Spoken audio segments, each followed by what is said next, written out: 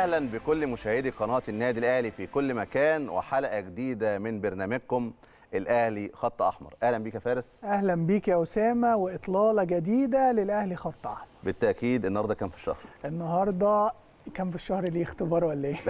8 يناير. 8 يناير سنة 1937 كان النادي الأهلي بيحقق الفوز بخماسية على الزمالك في دوري القاهرة 5-1 فرق أربعة مش فرق اتنين.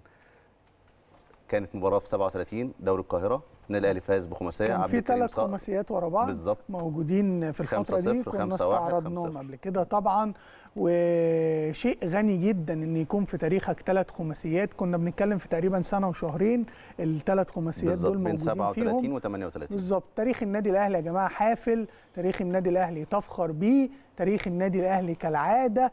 بيديك القدرة إن أنت دايما تبقى الأول. ومن 1907 فارس وانشاء النادي الأهلي وحتى هذه اللحظة بس غدا 9 يناير إن شاء الله النادي بيكرم بجائزة أفضل مؤسسة عربية في جائزة محمد بن راشد آل مكتوم والكابتن محمود الخطيب سافر الإمارات عشان يستلمها غدا إن شاء الله. بالتأكيد هنتابعكم بكل الأخبار وهنكون معاكم في الحدث كالعادة.